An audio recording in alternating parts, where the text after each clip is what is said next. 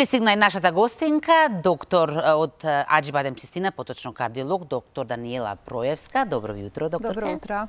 Ке зборуваме на тема превенција и грижа за нашето здравје како култура на живење. Зошто токму оваа тема, докторке, зошто е толку превенцијата важна и клучна? Значи, во суштина превенцијата е најважна за нашата психофизичка благосостојба, односно здравјето, нашето mm -hmm. добро здравје е најважно за благосостојбата на нашето нашето Оно што е карактеристично е тоа што ние сите мислиме дека треба да соди на доктор во услови кога имаме одредени потешкоти, mm -hmm. имаме проблеми со здравјето кои ги чувствуваме и слично, меѓутоа важно е здравјето да се одржува, да биде добро и превенцијата е таа што го одржува нашето здравје во добра состојба, односно прегледите во услови кога сме ние во најдобро здравје или mm -hmm. нашата мисла е дека сме во најдобро здравје, се важни за да ни покажат дали тоа е точна состојба или е релативна состојба да ни укажа дали имаме одредени одстапувања на кои треба да обрнеме внимание на времено со цел да го одржиме тоа здравје во добра општа состојба. Бидејќи знаеме каква е нашата култура, каква е нашата собаќајна култура, ајде да видиме каква е оваа култура, како вие би ја оцениле? значи, во моментов како да се подобрува. Сега се трудиме Учиме ние полека, да, полека mm -hmm. тру, се трудиме сите да се образуваме, да сватиме дека одредени аспекти од нашиот живот и здравствената култура се многу важни. А, така да одредени фактори на ризик или стил на живење и слично се фактори кои долготрајно ја одредуваат здравствената состојба. И кога зборуваме за фактори на ризик, значи во светот има извадено од прилика 60 62 фактори на ризик кои од, mm -hmm. ја одредуваат здравствената состојба и ние поголемиот дел од нив ги знаеме. Да речеме, првите најтри, три, три најризични фактори а, се, да речеме, артериската хипертензија, односно покачениот крвен притисок е на прво место, а, пушењето е на второ место и злоупотребата на алкохол, односно претирано консумирање на алкохол е на трето место. И потоа очекуваме дека се тоа некои големи значајни фактори, меѓутоа Кога ќе погледнеме табелата, ќе видиме дека како фактори што значајно го нарушуваат здравјето се, mm -hmm. например, веќе на четврто, пето место зголемената телесна тежина. Зголемената mm -hmm. телесна тежина во детска возраст, да речеме, преголема употреба на сол во исхраната, премало користење на, на мирници кои имаат незаситени масни киселини, односно омега-3 елементи, да речеме, елементите што доведуваат до намален внес на алкохол, намален внес на зеленчук, овошје и така натаму, намалената физичка активност. Значи, сето тоа се општи начини на живење, работи што ги користиме во секојдневниот живот, а се фактори на ризик кои доведуваат до нарушување на нашето здравје. Спомнувајќи артериската хипертензија, Значи, може би би посочила еден податок што така е негативен во смисла значи артерис, од артериска хипертензија дневно умираат 26.000 луѓе, односно годишно умираат над 9 милиони луѓе. Значи е состојба што се јавува кај до 40-та година возраст кај секоја пета жена, односно четврти маж mm -hmm. и за жал секој пети човек не е свесен дека има ризик за настанување на артериска хипертензија. Артериската хипертензија сите ја спомнуваме, ја знаеме повремено и обрнуваме внимание повремено не. Некој ќе рече мерам притисок, некој ќе рече не мерам притисок и во суштина не знаеме колкав ризик е за настанување на она што е а, заболување, да речеме на денешнината, односно можда еве би спомнала би ги спомнала претходните три години кога живеевме во услови на една пандемија, mm -hmm. значи кога спомнувавме дека имаме 1,5-2 милиони луѓе кои го изгубија животот во склоп на таа пандемија, а забораваме дека живееме во една пандемија на неинфективни заболувања, како што се кардиоваскуларните заболувања и 18 милиони луѓе годишно го губат својот живот заради овие кардиоваскуларни заболувања. Да не ги спомнувам на второ место карциномите, на трето место респираторните болести, на четврто место шекерната болест. Од шекерна болест годишно губат живот 1,5 милион жители, така да тоа се заболувања, односно состојби што постојат постојат, на кои помалку обрнуваме внимание, се важни за нашиот живот и затоа е потребна превенцијата за навремено да се откријат, да сватиме дали имаме ризик од нив, навремено да ги откриеме, ако ги откриеме да ги лекуваме без да дојде до оштетување на органите кои да речеме може да бидат оштетени и компликации од соодветните заболувања на нашите органи и системите во телото. Сакам да подпрашам, иако имаме други работи на кои што ќе зборуваме, но кога веќе ги споменавте факторите, нешто што исто така сите колективно заедно не мачи, денеска исто така беше споменато и во комуникацијата со гледачите, деновиве ужасно смрди, буквално кажано Скопје. Каков ризик фактор е загадениот воздух? Загадениот воздух е секогаш голем mm -hmm. ризик фактор, почнувајќи од респираторни заболувања, се повеќе алергии се јавуваат кај mm -hmm. луѓето. Срцето и белите дробови се тесно поврзани и сето тоа влие врз општото здравје mm -hmm. на, на, на човекот. Значи се намалува оксигенацијата, се намалува квалитетот на а, дишењето и така натаму и така натаму. Затоа се и превентивните прегледи и затоа се да речеме во нашата болница постои оделение за превенција кој ние го викаме чекап оделение, оделение каде што се прават тие превентивни прегледи и тоа превентивните прегледи можда Она што е важно да се каже за превентивните прегледи е дека никогаш не е прерано да се почне mm -hmm. и никогаш не е, да речеме, и важно е секогаш да се направат сите испитувања на една серија органи и системи, не да се задржиме само на еден mm -hmm. орган и систем каде што имаме потешкоти, туку да направиме да, тоа е исто една човечка особина, да. ќе се фокусираме на на еден проблем и, и го занемаруваме останатото да, така, здравје тоа е тоа. Заради тоа се и тие превентивни mm -hmm. прегледи каде што да речеме ние имаме имаме направено пакети, пакети кои ни помагаат во тоа да се направат да се направи еден системски преглед mm -hmm. на повеќе органи и системи од специализирани доктори секој во својата област. Да, и но ние често пати не, не знаеме кога е здрав човек, не, не знае прво не знаеме колку редовно треба да одиме. Верите дека никогаш не е рано. Да. Но предпоставувам дека и редовноста да, е да, да, клучен фактор. Не дека треба да спиеме на тоа. Е, лани направи да. сите да. прегледи, готово ништо не ми е. Така, а, на... што подразбира разбирате под редовни да.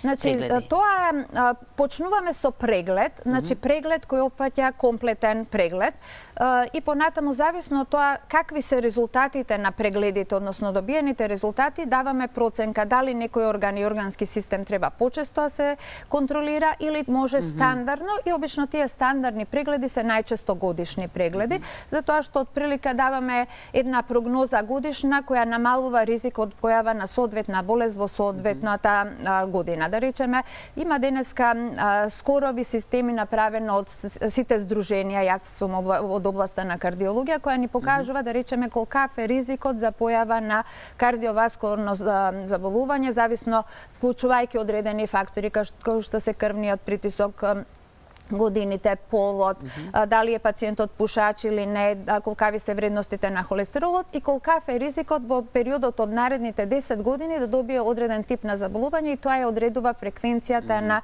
одредено испитување и тоа е во повеќе области.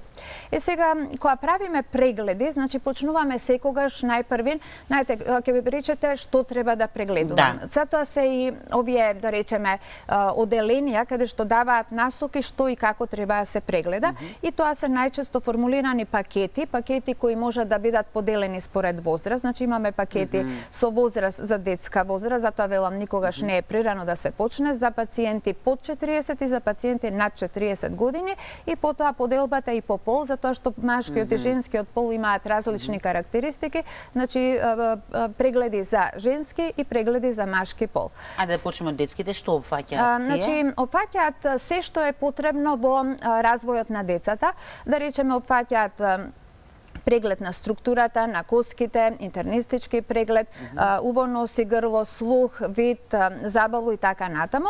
Меѓутоа, она што е важно да се каже е дека офаќаат крвни анализи и нашата болница во тој поглед mm -hmm. денеска изготви во склоп на чека прегледите, меѓутоа и како поединечни пакети што се независни од чека прегледите, издвои пакети за крвни анализи за проценка на секој на сите пациенти. Јас би почнала еве со бидејќи ги спомнавме децата, најпрвен со детски детски пакет за развој mm -hmm. на во детска возраст каде што влегуваат основните крвни анализи и тука се вклучени витамините, значи се контролира фолна киселина, концентрација на витамин B12 и витамин D.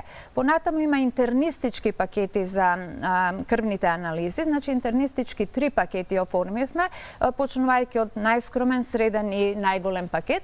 Во најскромниот пакет влегуваат стандардните крвни, крвни анализи каде што имаме крвна слика, сре, шекер, среден шекер, вредностите на холестеролот со сите и триглицериди со сите поединечни компоненти, параметри за црн дроб, параметри за бубрези и електролитниот статус. Понатаму имаме малце побогат пакет каде што е вклучен и еден од тироидните хормони заедно со концентрацијата на витамин Д и да речеме трет интернистички пакет каде што Палетата за црниот дроп е проширена, имаме контрола на билирубините, контрола на белките, контрола на мокраќата. Понатаму имаме друг пакет за крвни анализи, што е пакет за тироидната жлезда, односно два пакети за тироидната жлезда. Значи, болест на тироидната жлезда е многу честа состојба и од тие причини имаме три хормони кои ги следиме во едниот пакет на крвни анализи, меѓутоа со оглед на тоа дека постои една состојба на автоимунен тироидит од типот на Хашимото кој е многу чест во нашата популација има фамилиарно пренесување, имаме и втор пакет каде што се вклучени покрај трите основни хормони и антителата. Потоа имаме два гинеколошки пакети со едниот од нив се состои од четирите женски хормони заедно со ТСК, односно хормона за тироидната жлезда и вториот е пакет за полицистични бубрези и еден пакет што ја контролира хемостазата. И тоа се практично почетокот на секој превентивен преглед почнува со контрола на крвта, бидејќи еве да речеме јас од кардиолошки аспект, кога ќе дојде пациент на преглед, не може кардиолошкиот преглед да заврши само со нели органски преглед, ехо прегледи, сета диагностика, тест на оптеретување и слично, ако немаме крвни анализи, затоа што тие не ги одредуваат ризик факторите за настанување на кардиоваскуларни заболувања. Да речеме состојбата на холестеролот и шекерната болест се ризик фактори за настанување на кардиоваскуларни заболувања и секогаш кога даваме терапијата се осврнуваме на тие на тие елементи. Докторке, јас уште на почетокот кога ве најавував, споменав дека ќе ги отвориме и линиите за наши гледачи, така што имаме веќе гледач на линија. Уште еднаш да подсетам дека станува збор за кардиолог, така што да биде прашањето во ваша бранша или поврзано со пакетиве доколку има некои нејасноти. Добро утро, повелете о програма сте. Ало, добро утро още еднаш. Добро утро, Слободанка. Поздрав до докторката. Значи, сакав неслушна во муабето да, дали да, притисокот е наследна болест, пошто ние двајцата сме со притисок, дали нашата керка би требало да добие притисок. И уште едно прашање лично за мене, Значи, јас веќе 10 години како пијам може повеќе енап 10-20 милиграми дневно, И така, добро, од прилика го регулирам, ама сега ова лето, токму ова лето, што се случи, мене почна многу да ми паѓа притисок, значи 80-60. И јас се уплашив така на своја, на своја рака да ги, да ги тргнам лековите, ама па, знаеше, па и да ми се подкачи после тоа и сега намалихме 5 саба или 5 на вечер. Ова докторот рече дури може, мислам може дури само на 5 да останеме, И сега јас се, праш, се прашувам, а најнаш ако ми скокне и сега ме интересира дали добро постапивме, пошто вие сте сепак струсна, нели, друго е матичен, друго е специјалист. И тука да ми одговорите, иначе ако искочам малку да прошетам, а, мене па многу ми паѓа најнаш, може да ми се стимне и до 40 и сега сум врзана дома. Тоа ме интересираше, иначе се бале рано би искочила, ама не можам ни тоа да го правам. Благодарам многу и поздрав. Ја поздравувам нашата гледачка. Значи, она што е важно е дека покачениот крвен притисок може да има наследни карактеристики. Значи, која има во семејството пациенти со покачен крвен притисок, наследникот, значи потомството може да има исто така покачен крвен притисок, но а, тоа се факторите на, да речеме, спречување на настанување на покачен крвен притисок кои треба да се преземат од млада возраст. Во смисла намален внес на сол во исхрана, секојдневна физичка физичка активност, одржување на телесна тежина, намалување на сите фактори на ризик се можност за тој генетски ризик што го носиме mm -hmm. да го намалиме, односно појавата на крвниот притисок да ја одложиме. Од едно е ако се појави крвниот притисок на 30 години, сосема друга е состојбата mm -hmm. ако се појави на 5-60 години. Проблемот е што тоа што над 60% од населението над 55-та година, 60-та година се носители на покачен крвен притисок. Но веќе спомнав, крвен притисок јавува на многу помлада возраст, посебно што многу почесто доаѓаат дечиња на возраст од 15, 17, 18 години кои имаат зголемена телесна тежина, имаат фамилиарно оптеретување, јадат малку повеќе брза храна и веќе манифестацијата за покачен крвен притисок се јавува рано. Така да факторите на превенција спречуваат или одложуваат појава на покачен крвен притисок. А поинтата е да, да, да, го одложиме, што е, е возможно повеќе. Тоа да. што постои да го одложиме, односно да го спречиме, затоа што превенција превенцијата и на времените мерки го спречува, може и да го спречи појавувањето на соодветната болест. Во однос на вториот дел прашање. на да, во однос на вториот дел од прашањето, значи јас сум согласна со тоа што дал матичниот доктор препорака. Ако пациентката предходно примала два пати по 20 енап, значи вкупно 40 мг, може да ја намали таа доза. Значи не е исправно што се плаши да излезе од дома. Значи ја намалила дозата на 5 или два пати по 5 мг енап. Со таа доза ќе се одржува, ќе се јаде нормално, ќе внесува нормално течност и нема да се симнува притисокот нешто повеќе од вообичаено. Значи може слободно да излезе да прошете и на тој начин тие скокови на крвен притисок од кои се плашат ќе бидат спречени односно намалени. Седење дома и во услови која тоа- седиме и јадеме малце повеќе и слично, може само да не доведе во ситуација нели да го да зголемиме телесната тежина да го качуваме дополнително крвниот притисок. Ај, после малку нервоза со, создава седењето. Сето заедно. Можда јас тука еден совет до слушателите би дала. Значи мно- многу наши пациенти кои имаат покачен крвен притисок, срцеви слабост, валвуларни срцеви заболувања и слично, користат терапија со лекови за мокрење. И сега можда летниот период заради ризикот од дехидратација, заради можноста се појават стомачни вируси и слично, треба да биде тука малце повнимателно, односно лековите терапијата се продолжува или во совет со собствениот кардиолог или матичниот доктор може малце да се модифицира, но секогаш е важно да се внесува доволно течност да не дехидрира пациентот за да се доведе во ситуација позитивниот ефект на лекот во одреден момент кај одреден пациент да се претвори во негативен ефект, односно состојбата на дехидратацијата би била лоша состојба во услови кога треба да се користи одредена терапија а, кардиолошка, особено антихипертензивна. Да, тоа сакав и да ве прашам. Логично е кога имаме кардиолог на, на гости во студиото, секако мора да, да ве прашам и како ова време овие високи температури влијаат на, на, на сите нас, а особено на вашите конкретно Значи а, високите пациенти. температури не не се погодни, односно високите температури се добри додека се соодветно високи. Меѓутоа вакви високи температури над 35 Екстремно. екстремно 35-40 секако дека не делуваат поволно на нашето здравје. Значи ние сите се чувствуваме можда помалаксани, попоспани, а, снагата ни се намалува, некогаш забораваме да пиеме доволно течност, некогаш ги прескокнуваме лековите, има големо потење, на тој начин губиме многу вода и сето тие сите тие работи значи треба да бидат вратени да надокнадени. Значи со губење со потењето се губат и електролити, што значи дека нели правилната исхрана внес на овошје зеленчук, внес на доволно течност ќе ни помогне да ги поминеме овие да речеме жешки денови. Секако останува препораката во најтоплите периоди од денот да не се излегува.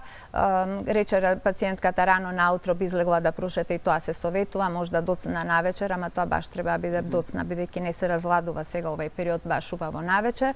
И секој што има можност да ги напушти, да речеме градските делови, би било пожелно да отиде некаде на страна затоа што бетонот е фактор плюс и сето тоа високата температура, висока влажност, сето тоа лошо делува на нашето здравје, така да стандардните препораки остануваат внесна течност и пиење на на терапија, Лесна не излегување, облека, лесна да. облека, лесна храна, избегнување на алкохол и сето тоа што нели во овој момент делува непогодно треба да да не се користи. Докторке, многу ви благодарам на ова ваше гостување. За си- сите оние кои што имаат дополнително прашање во врска со вашите пакети, предпоставам секогаш може да ви се Да, да, обратат да, дефинитивно. добијат одговори, затоа што клучна е очигледно превенцијата. Превенцијата е основа на све на доброто здравје во секој случај.